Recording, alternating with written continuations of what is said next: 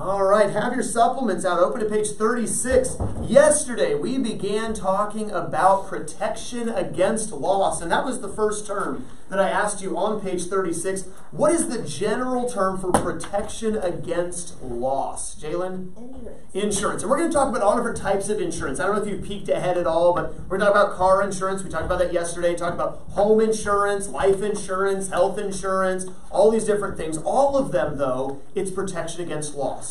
It's the what if something bad happens, I don't want to have big money expenses, right? Um, I was talking with somebody not long ago and their house burned down. Um, I think it was somebody that uh, Emma knows and uh, some friends of hers. And she was telling us that in Bible class.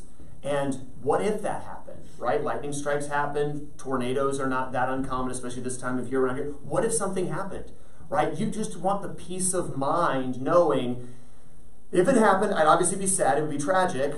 Prayerfully, everybody's safe, but at least I know that somebody's going to help take care of getting a house rebuilt, or help me get a new car, or um, I'm not going to have huge medical bills to have to pay, or um, for instance, if I die, my family's going to be cared for financially, even though I'm not there to work and make money to take care of them, right? All of that, that's the overarching idea of insurance. Protection class against Loss. loss, specifically financial loss. Now, number two, someone who purchases, and this goes for more than just car insurance, but someone who purchases insurance to pay for damages that could occur to his vehicle. Okay, in, in general, anybody who purchases insurance is referred to as what, Kirsten? Policyholder. The policyholder, because number three, the agreement between the vehicle owner and the insurance company, in general, agreement between customer and any insurance company, is called the Insurance policy. the insurance policy. Good. So, protection against loss class. Insurance. The agreement between the purchaser and the insurance company is the Insurance policy. insurance policy, and the person who buys the insurance is called the Policyholder. because they hold the policy. I mean, if they want to, they could hold it. Number four, the amount of money the vehicle owner must pay up front for repairs to his vehicle. What's that upfront amount called? It's not a down payment, though it sounds like a similar definition. Ben? Deductible. The deductible. How many had deductible? That's an important term to know for all forms of insurance. Deductible is you got to pay this first. And once you've paid this, insurance will pay everything else. Okay, that's the deductible. What is a payment for car insurance called, Bryson? A premium. Good. Number six, insurance coverage for your own vehicle if you cause an accident. Kirsten. Um, collision. Collision. Collision covers you if you cause the accident. You're covered by a collision. If you hit a deer, the collision policy covers that because you hit the deer. Um, you might say, "Well, the deer ran out in front of me." Yeah, but we can't we can't penalize the deer. He's dead now, um, or badly wounded. So we got to get it out of you. So your collision covers you. Number seven, coverage for the other person's vehicle if you cause an accident. Joel. Not liaison, but it kind of starts the same way. You could argue the insurance company is kind of the liaison between you and the other person. They don't sue you; they get the money out of the insurance company. Um, Corey, liability, liability insurance. Um, but hey, that, what that shows though is you did it without looking back, right? Which is which is awesome. So, and you were close. Liability. Make sure you get that word. Number eight, coverage for your car from accidental damage not caused. And it should actually more accurately say here, not caused by a vehicular accident, okay? But it's not caused by another vehicle. It's a tree, it's a storm, it's hail, something like that for redemption. Joel? Um, comprehensive. Comprehensive coverage. Good. Comprehensive coverage. How many got all eight of them correct? Did anyone get all eight correct without looking back? Okay, all right. Uh, that's okay. It's okay to look back as long as we're getting them. Let's take a look at the problems here. And you were doing these on paper. Again, we're taking a break yesterday, taking a break today. Next week, we'll get back to the calculator. Want to give you some practice doing it on paper, working out these math problems. Don't want your skills to get rusty. Read number nine for us, if you would, Luciana. Sandy had an old car gave to her when she graduated from high school and paying ninety dollars per month for full coverage. She was about to buy a new car and found out that her monthly premium will be one hundred twenty-six dollars. Find the percent of increase. How do I find percent of increase, class? Change over original. All right, so what's the change here, Luciana? Um,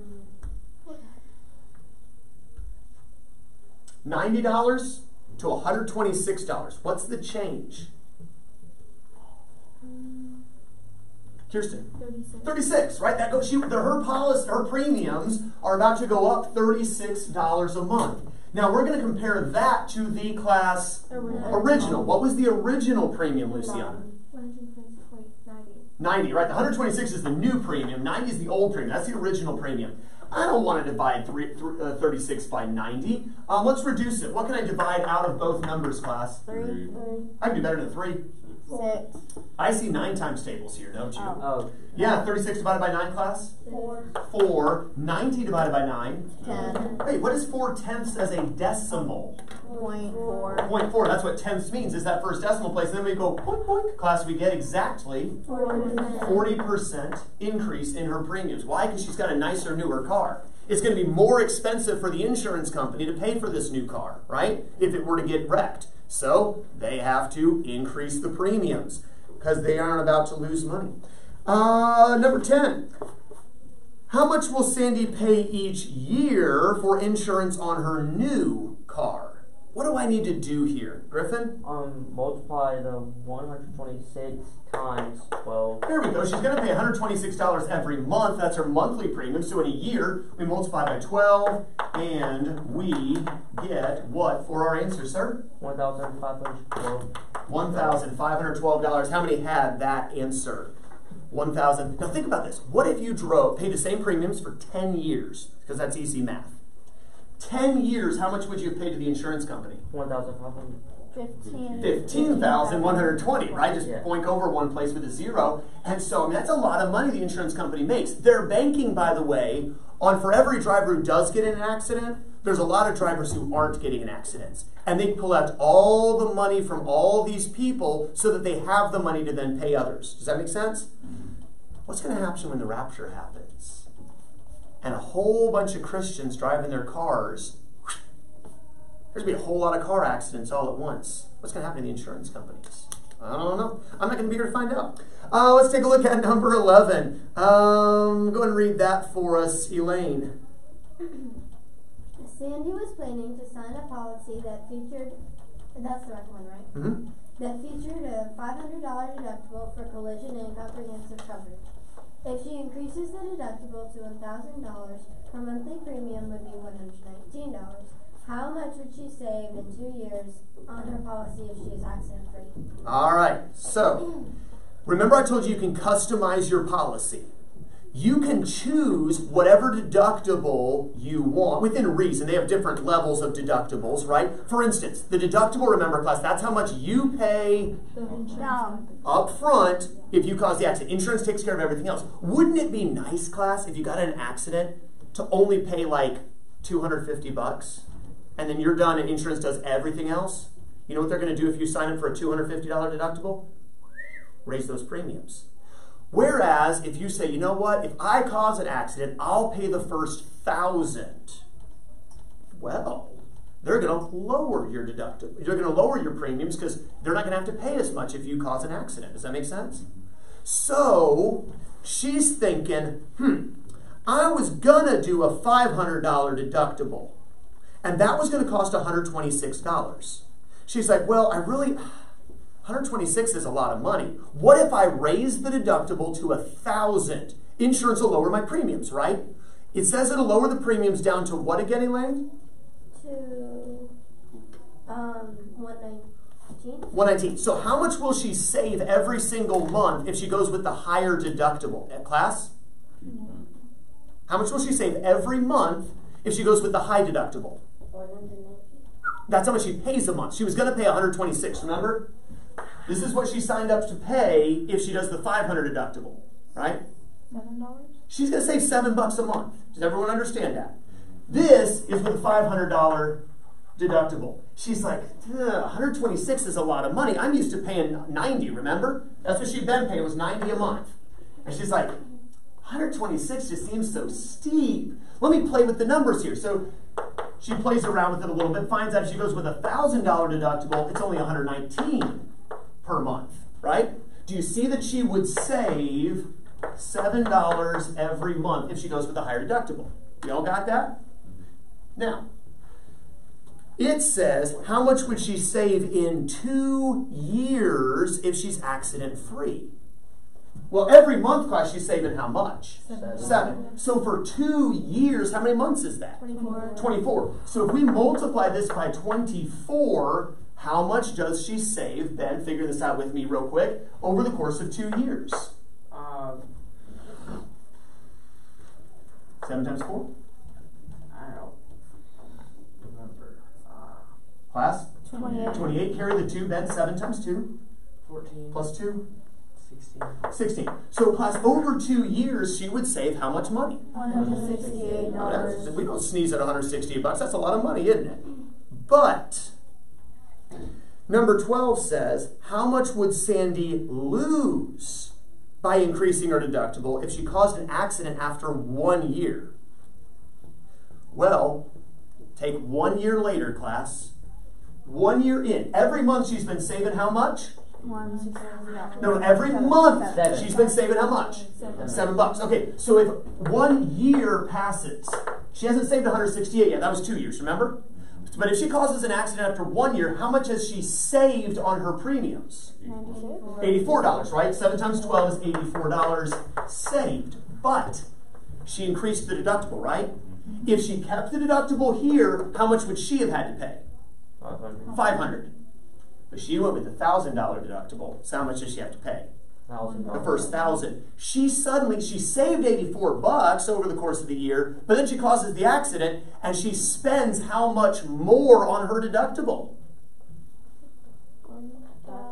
No, this isn't what her actual deductible is, but it was going to be 500. So how much more is her deductible than what it would have been? 500. It's 500 more. So she lost $500 by increasing the deductible. She saved 84 to lose 500. Did she end up gaining or losing on that deal, class? Losing. She ended up losing. Raising your deductible really high is a great idea to save money, as long as you don't cause any accidents. But Sandy, if this happened to her, if this had taken place, yeah, she saved money all year, $84, great. But she ended up losing 500 extra on that deal, didn't she? So what does she end up actually losing? What's the net loss here? No, no, she saved the 84, right? This is good, this is bad. You don't add them together. She didn't lose the 84 and lose the 500, class. Four, one, two, 500. four hundred, four hundred sixty. She lost 416 on this deal. Think of it this as a positive number. That's money she saved. Think of this as a negative number. Subtract, keep the sign of the greater. She lost 416. Do those two problems make sense now? Yeah. My goal was to get you to think through them, even if you didn't get them right, think through them so we could talk about them today and they would make more sense now. This is the kind of finagling you do when you set up your policy. You think through, okay? Am I in a risky area? Do I ever have to drive in an area that's high risk? Do I drive around people who are high risk, like birthday girl? Um, do I, you know, stuff like that, right? But if you're like, honestly, I live out in the country. I don't really drive at night much where I'm going to hit deer. I don't drive in a high traffic area. I'm a good driver. I don't drink. I don't get high. I really don't see why I would be causing an accident, more than likely. Why not go with the high deductible and just plan to be really safe? But if you live in the big city and there's crazy traffic around you all the time and you're having to make turns sometimes, we've got one particular turn we have to do out of our neighborhood that's not the world's greatest turn to have to take. Okay, my wife got in an accident once there and I've had a couple close calls. Maybe the high deductible's not the best idea because you know it's a matter of time before you've gone and an accident. Okay, so maybe you pay a little more every month so when the accident happens, your deductible's lower. Does that make sense? So this- this is the kind of things you'll get to think about as you reach adulthood in just a few more years. But I want to kind of help get you thinking that way now. Number 13, uh, a little bit longer problem here. Let's have Jalen read it for us. Most insurance plan liability li- liability coverage pay for up to one hundred thousand dollars per person in medical expenses, bodily liability, for a person you might injure with your vehicle. If you pay only pay for this required coverage, you are paying eighty-six dollars per month. How much would uh, how much could you sa- still save if you drove safely for twenty years before causing an accident? All right, so here's the idea. One of the things that your insurance covers is the medical bills of somebody you hurt. Okay? So you cause an accident, somebody has to go to the hospital, they got a broken leg, all that jazz. Your insurance will pay up to $100,000 for that person's medical care. Now, if their medical care costs more than that, you may still be liable for a lawsuit. But most of the time, with the way health insurance works, and yeah, usually the, the- it's, it's not going to be that high most common accidents. There, there are some weird ones, there are some bad ones. I had a young lady years ago, her mom got in a really bad accident. Um, but um, that's what insurance is willing to pay for.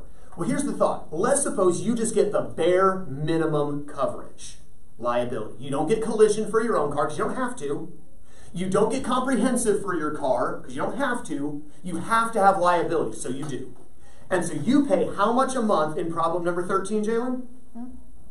Um, I looked out. Sorry. How much per month are you paying? Pay attention now. I know it's Friday, we're tired. How much a month are you paying for this baseline liability only coverage? Eighty-six dollars per month. 86 a month. Okay, so $86 a month. Class, how many months in a year? 12. So you, see, we, you notice we do a lot of multiply by 12 here, right? When we multiply by 12, call it out to me once you've got it. One thousand thirty-two. So I heard a 1,032, and let me fact check that. Yes, 1,032 every year. We all good? Mm-hmm.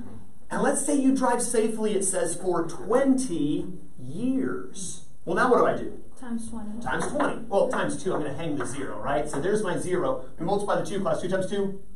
Four. 2 times 3? Six. 2 times 0? Zero. 2 times 1. Two. Two. You could end up paying over the course of 20 years $20,640 to this insurance company and you've never had an accident. But what if, after 20 years of safe driving, you hit somebody and insurance pays out $100,000 for that person's medical bills? That's 100,000 you didn't have to spend, right? After years and years and years of paying thousands of dollars to insurance, you just saved money. And you saved a bunch, didn't you? At your seats, if you didn't already get it, how much do you save by having that insurance coverage? Bryson's already got it. The rest of you subtracting now. Go ahead, Bryson. Uh, seventy-nine thousand three hundred forty. You say 350? I got 360. 79,000, really close, but right idea. $79,360. And do you see why, even if you say, I'm a safe driver, why do I have to have insurance? That's why. Does that make sense? And so uh, this is something I have to remind myself of because there are times when paying your premiums feels like a waste of money. Why do I have to do this? I don't cause accidents. My house isn't going to burn down. I'm probably not going to die in the next 10 years. I don't really ever go to the hospital or need any medical care. What if? Right? What if? So, yes, you're paying a lot of money for insurance as an adult one day, but what if? It gives you peace of mind. That's what insurance is all about that protection against loss, that peace of mind you have. Look at number 14 and read number 14 for us, Corey. For three years, you pay $150 a month for full coverage. Then you cause an accident which results in both cars being totaled. Deemed non-repairable, drivers pay the replacement value of their vehicles. You have a hundred, five hundred dollar deductible for your collision coverage. Your car was valued at twenty-one thousand three hundred dollars. A three-year-old Honda CRV, while the other driver's vehicle was valued at forty-seven thousand five hundred dollars. New Audi A4.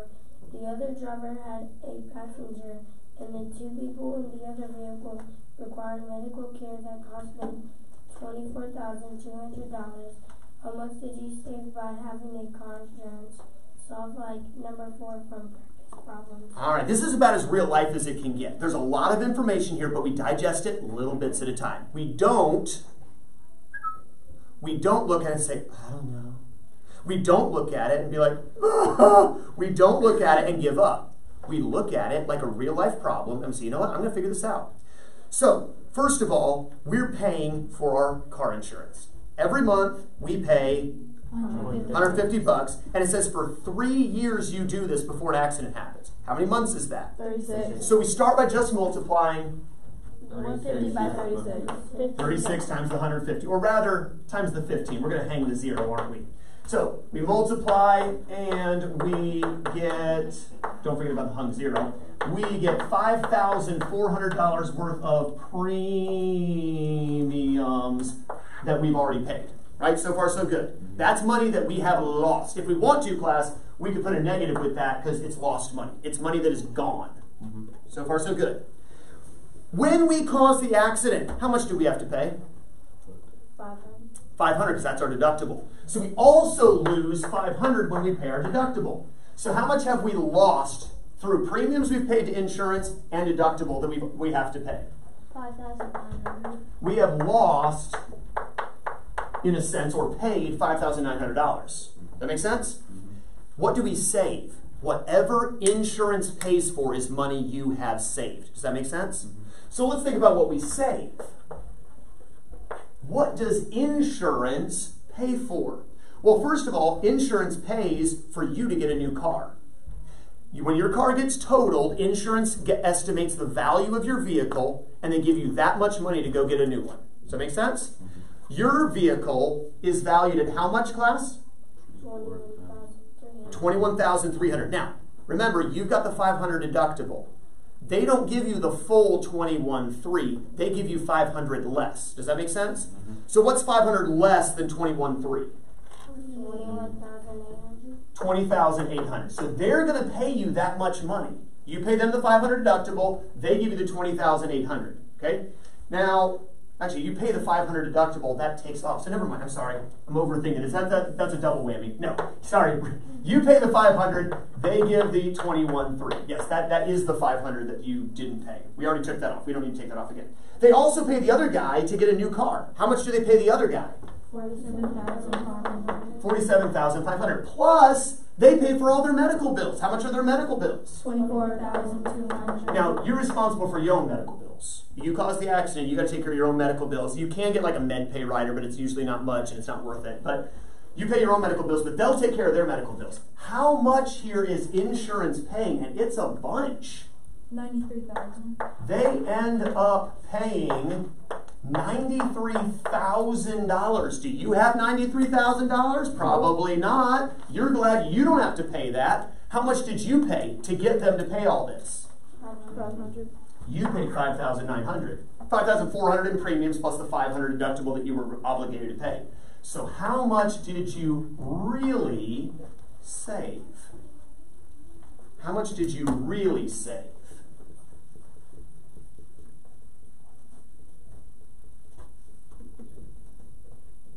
It when you got. Eighty-seven thousand one hundred dollars. Eighty-seven thousand one hundred dollars. We just subtract the five nine hundred, fifty-nine hundred dollars.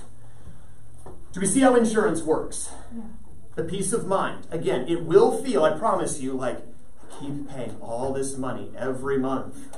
There's a reason. One day you're probably going to need it. Even if you never do, just knowing it's there is beneficial to you. Questions on car insurance. Do we feel like we have a basic understanding, not all the ins and outs, obviously, we have a basic understanding of how car insurance works? You'll never watch a Liberty Mutual uh, commercial or Mayhem commercial again. I do like the Mayhem commercials too, by the way.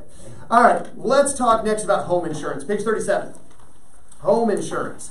When a person buys a home, he is usually required to buy home insurance. Now, when would you not have to buy home insurance? If you're paying for it outright, completely on your own, no mortgage, you just pay cash for this house. Technically, then you don't have to have it, but you'd be crazy not to. Okay? So pretty much everybody has home insurance. If you have a mortgage, you have to, uh, because notice it says in this way the homeowner and the bank or lender is protected from loss in the event of a disaster. Remember, if you have a mortgage, you don't own your home. The bank does. They're letting you live there while you pay them. If you stop paying them, they kick you out. we call that eviction or um, re- uh, not repo. That's cars. What's it called? Re- uh, house foreclosure. Foreclosure. Yeah, where they where they kick you out of your house and they take it back. Right. So uh, anyway, um, but you have to have the home insurance because if something happens, the bank doesn't want to lose their house. Right. That's a lot of money the bank would lose. So you got to have home insurance. Home insurance pays for damages to a person's house or property, but the homeowner is responsible to pay an upfront amount for damages called the same term as car insurance. Deductibles, that upfront amount you pay. Coverage limits and deductibles are outlined in the homeowner's insurance policy. Remember, that's the agreement where you agree how much insurance pays, how much you pay, all that stuff. Uh, usually, damage caused by wind or hail is covered with a separate deductible.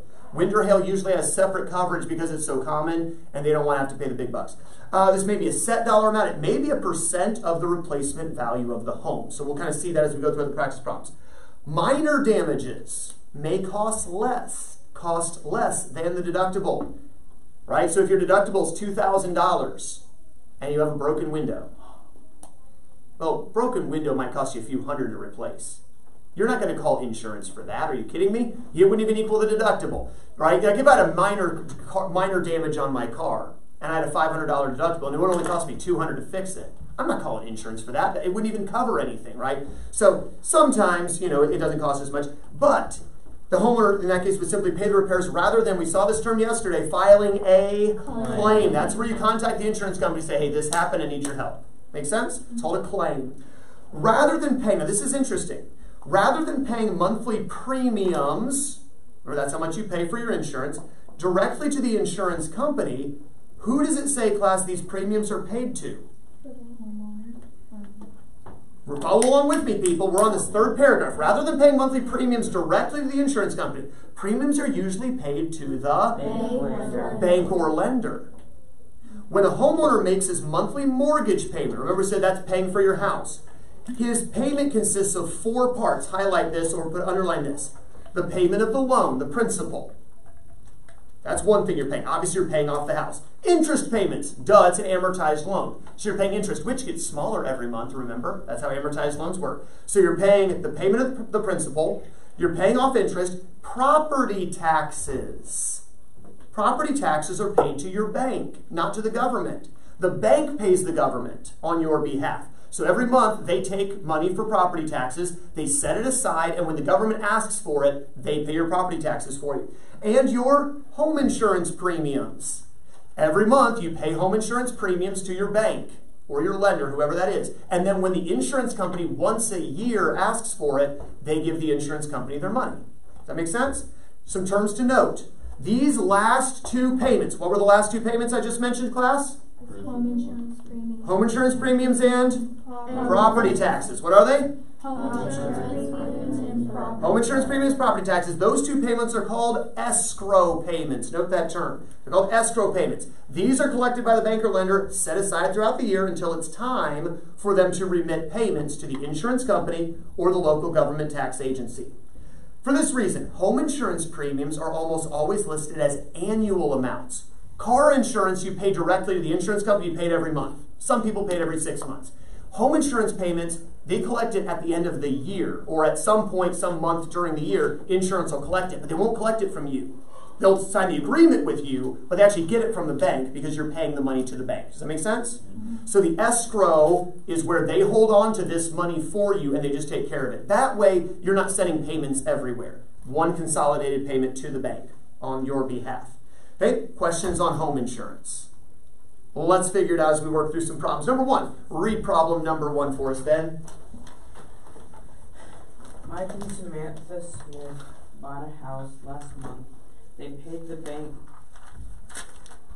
two hundred and sixty-one dollars and forty-seven cents toward the loan, one hundred and seventy-six dollars and thirty-two cents toward the interest, one hundred and eight dollars and twelve cents for insur- insurance, and seven seventy-eight dollars and fifty cents for property taxes. What was their total mortgage payment last month? I see some of you already do, setting this up on paper. What do we have to do to figure out their mortgage payment class? Add all four things together. So on your paper, add all four numbers, write it down once you've got it. Add all four numbers. They're paying off the loan, they're paying off the interest, they're paying for their insurance, they're paying for their property taxes. How much total do they pay the bank to live in that house every year?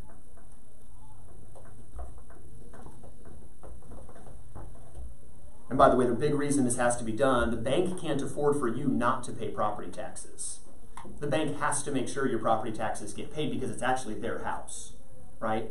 And they can't afford for insurance not to get paid because it's technically their house. So they're protecting themselves by collecting that from you. It's not just a convenience for you, they have to make sure they're covered.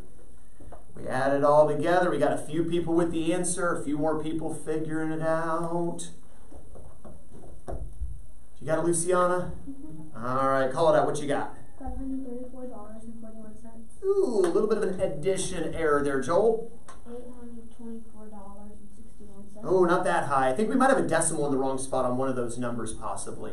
Um, Bryson. Uh, six hundred thirty-six dollars and forty-one cents. Oh, you're the closest one yet. Six hundred twenty-four dollars and forty-one cents. There we go. Okay, six hundred twenty-four dollars and forty-one cents. There we go. Six hundred twenty-four dollars and forty-one cents. All right, go and write that number in if you didn't have it before. Six twenty-four forty-one is what it should be when we add them all together. Now, number two just asks what was just class their Escrow. escrow payment last month. So their whole mortgage payment was six twenty four forty one. A part of that went into escrow. Okay, is what it's called. How much was the escrow? Well, what do I need to do to figure that out, Elaine? Add the home insurance and the the um property tax. Good, just add the insurance and the property taxes. Again, the bank collects the interest, that's how they make money. They're collecting the principal, that's how you begin to own more and more of the house. But the insurance and the property taxes are the set aside stuff. That's the escrow. And how much is that? Let's go back to Luciana for redemption. One hundred eighty-six dollars and sixty-two cents. That is correct. How many had $186.62? We add those two numbers. All right, go and get that there if you didn't have it before. Number three. Number three. Read that for us, Bryson. Uh, if the insurance payment is the same every month, how much do Mr. and Mrs. Smith pay for homeowners insurance each year? All right, so if their insurance payment every month is the same, which it would be for this year at least, how much do they pay each year? And by the way, insurance rates are going up. My home insurance is going up quite a bit this year over last year. We didn't have any issues, it's just inflation is driving everything up. Thank you, government. Uh, anyway, can't blame one particular person alone. I mean, there's a whole Congress to blame for this too, but I digress. Um, Uh, how much for a year do they pay for their homeowner's insurance? What do we have to do, Kirsten? Add. Add, Or multiply. multiply. There we go. Multiply what? Um, six hundred and twenty. No, that would be their mortgage payment for that would be their total mortgage for a year. I just want their insurance for a year. So what are we multiplying? One hundred eighty-six dollars and sixty-two. That would be their total escrow for the year, but that included the property taxes too. I just want their insurance for the year. One hundred eight dollars and twelve cents. There we go. You got to find that insurance number in problem one. Did you see that? The 108.12. That's what we multiply by 12. So if you didn't do that, fix it now. $108.12 is just for the insurance. So over the course of a year, how much does the insurance company get? Got some people fixing that now. Now that we understand that a little bit better. And Corey's got it. Corey, what you got? Um, one hundred thirty-one thousand seven hundred forty-four. I'm not quite sure what happened. Maybe you've got a decimal error. I think there might be some other little thing, but I think you're a decimal place off somehow. I'm not sure how. Um, let's see. Joel is wanting some redemption from earlier. Joel, what you got? One thousand three hundred twenty-nine dollars and forty-four cents. Really close. Just a tiny nudge too high. I'm not sure what happened. Jalen? One thousand two hundred ninety-seven dollars forty-four cents. $1,297.44. So somewhere in there, maybe a little addition error, maybe a carrying error. Uh, go ahead and get that number written down if you didn't have it. $1,297.44 every month for their homeowner's insurance. And again, that number was a little realistic when I wrote this, and I've realized just in the last couple months that number's a little low now. Um, so maybe it's a small house. All right, um, we move on to number four. So we've got that homeowner's insurance number. Everyone got that written down now, yes? All right, now we move on to number four, and what happens to Mr. and Mrs. Smith's house? Jalen, read for us. Mr. and Mrs. Smith have a deductible of one thousand five hundred dollars for wind slash wind or hail coverage on their home insurance policy. A recent hailstorm broke three windows. The cost to replace each window is three hundred thirty-five dollars. Should they file a claim with the insurance company, what will Mr. and Mrs. Smith have to pay? What, if anything, will the insurance company pay? All right, so the first question is Is it worth filing a claim? Well, how much? what happened to the house? The hailstorm broke class Three windows. three windows, and it says every window costs how much to replace it? Three hundred and thirty-five. And there's three windows, right? So real quick, let's figure out how much damage is there. $335 per window, three windows class, we Multiply. multiply, and how much total damage in terms of dollars was caused to their house? Joel, One thousand five dollars. $1,005. How many got 1005 Okay, that's the damage. Now, what's their deductible class? 1,500. $1,500. Should they file a claim? Yes. No. No. No, because their insurance, remember, deductible is what you have to pay first before insurance will pay anything, right? Well, if their deductible is $1,500, that's more than the damage. Insurance isn't going to pay anything anyway. Why would you file a claim? Does that make sense? You file a claim, you risk them raising your rates because you now have a claim on your record. Don't do that if it's cheaper than your deductible.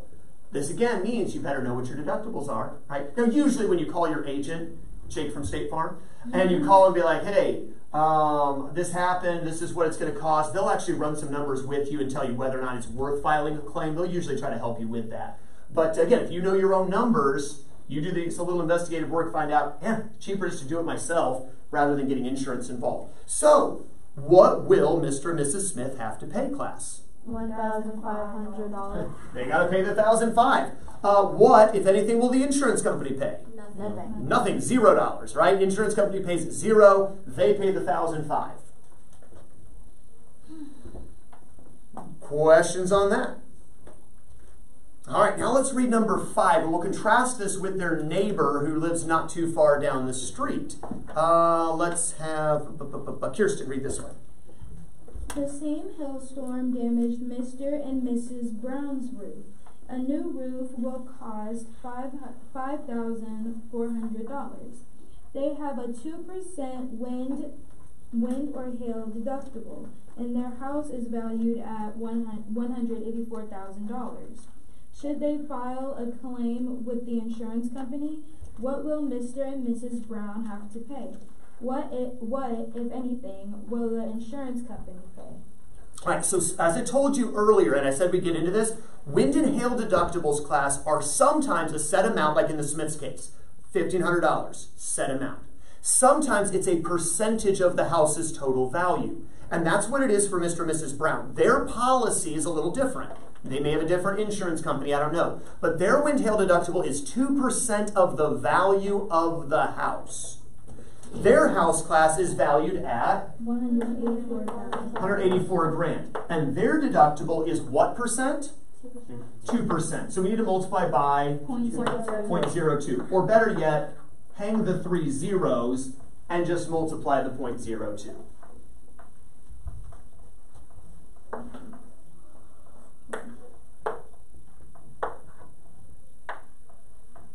Don't forget your two decimal places after you multiply. Class, what is their deductible? Three thousand six hundred eighty dollars. All right, everyone got that? Mm-hmm. That's what they have to pay. Now, notice that's a lot higher than the Smiths, isn't it? Mm-hmm. Hmm. That's their deductible. That's what they would have to pay before insurance pays anything, right? Mm-hmm. Well, how much damage did the house sustain?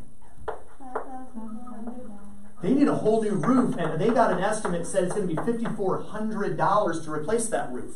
Should they call insurance? Yes. Yes. yes. yes. Because now the damage is greater than their deductible. Does that make sense? Mm-hmm. So, the first answer should they file a claim? Yes. Number two, what will Mr. and Mrs. Brown have to pay? Nothing. Oh, yes, they will. Uh, yeah, Joe, go ahead. 3680 they got to pay the 3680 right? They have to pay the deductible. That makes sense? Mm-hmm. Now, everything else, everything that's left over that still needs to be covered, insurance got this. So, how much is insurance going to shell out? How much does the insurance company shell out? Remember, the, roof, the, the roofers, the roofing company says, going to cost you 5400 for the new roof. You pay 3680 to the roofers. Insurance comes in, they finish off the payment. Insurance ends up paying how much, Bryson? Uh, one thousand seven hundred twenty. 1,720. So deductible, this is Brown. What can Brown do for, anyway, Brown does the 3,680. Insurance pays, you said it was 1,720, right? Mm-hmm. So obviously, who paid more of it? Then The Browns. Still, the Browns ended up paying more of it. But hey, they saved 1720, right? They saved a little money, or did they? Look at number six. Look at number six. Read that for us, Joel. The Browns pay one thousand seven hundred twenty-four each year for home insurance. Did the Browns save money this year by having home insurance? So their premiums for the year, 1,724. How much did they save on the roof? one thousand seven hundred and twenty. That's what insurance paid for them. Did they make money or lose money that year? Lose They lost how much money, class? four dollars. Yeah, four bucks. they lost four bucks. But you know what they had? Peace of mind knowing if it had been worse, they're covered. Right? What if instead of a hailstorm, what if the hail managed to, you know, somehow dislodge a, a tree limb or something? You know, the hailstorm was bad enough, and a whole tree limb fell in the house and they had structural damage. Again, peace of mind is there. But in the net aggregate, yeah, they lost four bucks that year. All right, questions on that? Do we understand how home insurance works? Questions on all that? All right, real quick, if you look over at the next page, so flip the page over, your homework tonight, we're going to review something we haven't looked at in a little while. So I want to review something with you very quickly. Notice what it tells you to find on numbers 1 through 6 as a little bit of review. Class? Area. Area. Oh, it's been a while. So let's review over some area formulas, shall we? The most basic shape of all is the rectangle. And class, what's my formula? Actually, let me call this someone show of hands. What is the formula for the area of a rectangle? Luciana? A equals LW. A equals LW. Wouldn't hurt to write this in the side margin of your book there if you've forgotten these. Now, if you say, I know A equals LW, then don't bother. But if you're like, ooh, I forgot that, or I didn't remember that, and this is something obviously we covered before Joel joined us. So, Joel, you may or may not need to write these. I don't know, depending on what you got before you came here. Um, we had a slanty rectangle. We don't actually call it a slanty rectangle. What do we call this critter here, class? Parallelogram. Parallelogram. That's a great word. Parallelogram. And uh, volunteer area of a parallelogram. Jalen? A equals B. H. A equals BH, the base, which is the length of the bottom, times the height, which is that perpendicular, or that altitude, as it's sometimes called. Uh, we also had uh, a nice easy figure called a square. What's the formula for the area of a square? Bryson? Uh, A equals four, no. You're thinking P Oh, equals 4S. S squared. S squared. There we go. Side squared. Whatever one side is, just square it, and that's the area of the square. Uh, we had another figure. The uh, let's see, it had a couple parallel lines, and it had a couple lines that aren't parallel. What do we call this critter, class? Trapezoid. Trapezoid. So a trapezoid. And uh, let's see, area of a trapezoid. This was kind of weird because we don't have like matching sides. Like here they match, they match, they match, they match, they match all over. Well, here nothing matches. What was that formula, Ben? A equals a half BH. Not a half BH, but there is a half in it. Hmm, not as many hands this time, but I got a very exuberant birthday girl back there. A equals one half H times the quantity of the B1 plus B2. Yeah, so on this one here, remember we've got two different bases they're called, base one and base two. We have to add those together first and then multiply by the height or the altitude and take half of that. See, I've been a little while for trapezoid. Now, Ben, what you gave me a moment ago was actually the formula for the area of a triangle. And what was that formula, Ben? A equals B. A equals half HB. or BH if we keep them alphabetically, but it's not wrong if you did them out of order because multiplication is commutative. There we go. So there's our base, there's our height, and so a half base times height. We also had, uh, it wasn't a polygon at all, pretend that's a circle. And uh, so for the area of a circle, what was that formula? Formula for the area of a circle. We have a day to celebrate uh, a critical number coming up here in about two weeks. I, I know it has pi. Is it? It has pi in it, you're right. What does it have with the pi? Pi r squared. Pi r squared, there we go. Pi r squared. Remember, class, pi is approximately Three point one one. 3.14, or what if there's a fraction? Twenty-two seven. 22 sevenths. That only mattered if we had a radius or something. And remember, the radius is that length from the center of the circle out to the edge there. I think these are the six figures we talked about for area back last semester, so I want to make sure I reviewed that with you. Questions on these area formulas? Any questions as we've been talking through car insurance and home insurance the last couple days? You say, there's just one thing I'm confused about, Mr. Desky. What about this? Have there been any questions? We've got just a couple minutes before we need to go. Any questions on this that we need to go over? How many feel like you have a pretty decent understanding of how this works with the deductibles and the premiums and all of that stuff? All right. Well, we'll finish a couple minutes early and get a head start on the homework. Maybe you can even knock out that top section before we go. Your homework is to do page 38, numbers 1 through 11. Oh, real quick.